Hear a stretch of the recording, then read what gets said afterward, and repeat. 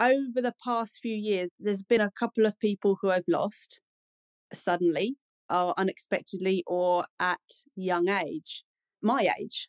And that does make you kind of sit up and take notice and go, oh my God, I'm not here forever. And if I want to do this stuff, why am I not doing it? If I want to do something that's fun and I want to use my brain in a different way, yeah, let's just get out there and do it and not have it as that thing of, oh, I wish I'd done that